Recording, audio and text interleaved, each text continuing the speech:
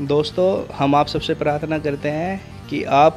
किसी भी जलते वाहन को देखें तो उसकी आप वीडियो बनाएं या ना बनाएं लेकिन उससे उचित दूरी ज़रूर बनाए रखें क्योंकि आप जैसे कि इस वीडियो में देख रहे हैं इस तरह का हादसा किसी के भी साथ हो सकता है ये वीडियो हमारे दोस्त ने बनाई है और वो इस